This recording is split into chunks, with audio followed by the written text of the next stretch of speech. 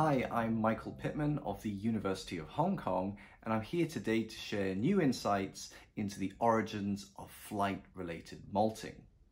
Produced in collaboration with Thomas G. Kaye of the Foundation for Scientific Advancement and William R. Wahl from the Wyoming Dinosaur Center. Modern flying birds molt to replace old and worn feathers that inhibit flight performance. But the origins of this are unclear. Primary feathers grow at about 3 to 6 millimeters per day in both smaller and larger birds.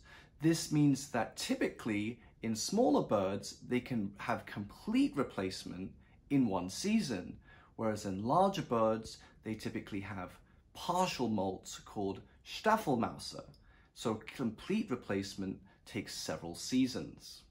The most common molt strategy is the sequential molt, where feathers are lost from the left and the right wing at the same time in a symmetrical pattern.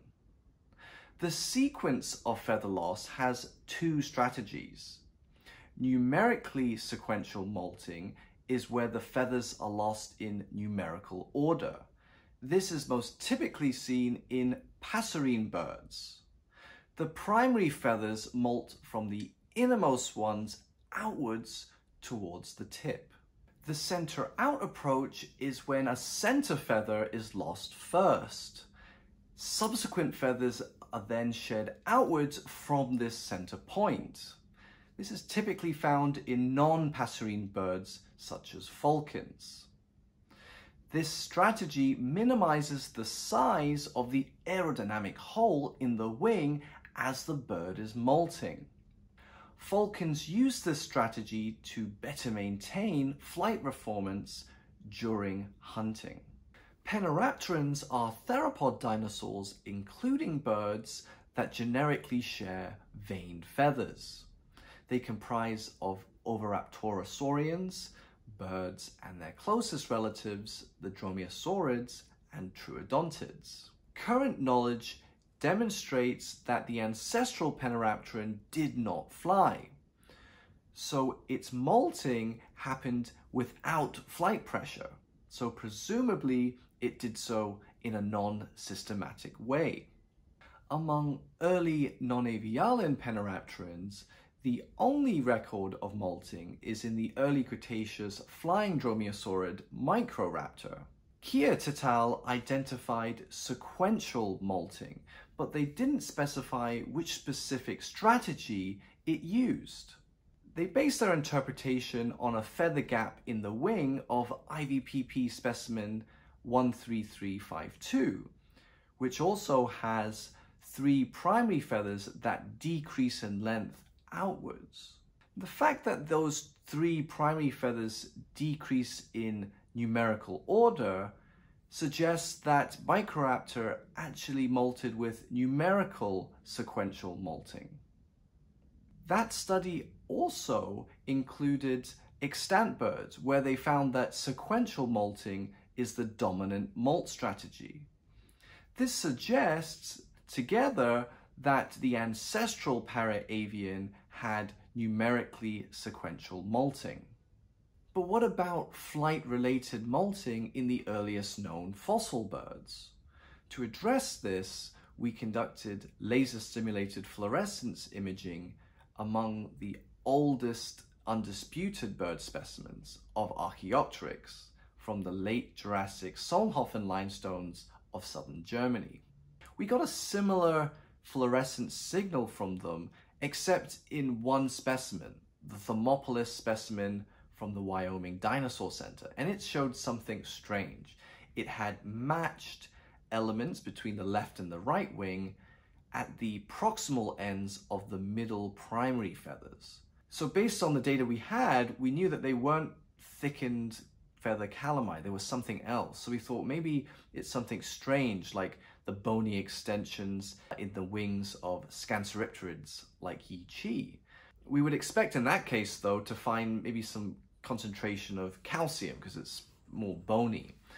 Luckily, previous work on the SLAC beamline produced a calcium elemental map. but we don't actually find a calcium concentration where the elements are. So that rules out these bony extensions uh, as a possible identity. So what else are we left with? Cornified feather sheaths encase the proximal end of new feathers during the growth phase. Once the feather has stopped growing, the feather sheath dries out and falls off or is preened out. Remnant elemental signatures of skin are rare in the Solnhofen limestones and is known from the non-avian theropod Juravenator and in several pterosaurs.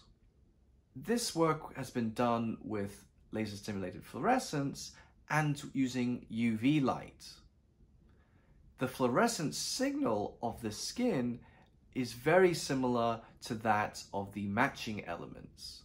So this rules out them being bony structures and favors the remaining hypothesis that the matched elements are feather sheaths with cornified tissue.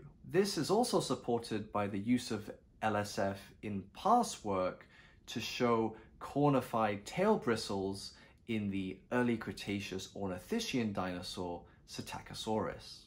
With this feather sheath identity, we have paired symmetry of the fifth primaries. But which type of primary feathers were these sheaths on? Well, luckily, we have a past phosphorus distribution map from the SLAC beamline that shows that the feather sheaths align with the, the axis of the feather calamus. So this suggests that the feather sheaths are on the primaries and not the primary coverts. The Thermopolis specimen of Archaeopteryx has a primary feather count of 11. This means it had a center-out sequential molting strategy where the molting happened from a center point at the fifth or sixth primary feathers. This specimen also has evidence of a third feather sheath on the right wing, separated by a one feather gap. This pattern is seen in birds today with the same strategy that use it to maximize their flight potential. This suggests that Archaeopteryx had a strategy to better maintain its flight performance. The center-out sequential molting strategy of Archaeopteryx is the oldest record of molting in Pennaraptoran dinosaurs, at least 20 million years older than records of juvenile fossil birds and in Microraptor.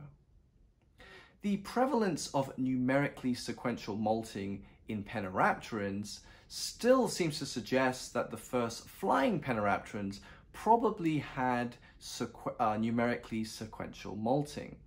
However, the fact that we have two flight-related molting strategies in the earliest Pennaraptorans suggests that in the early stages of flight, when flight capabilities were poor, these flight-related molting strategies were a very welcome benefit.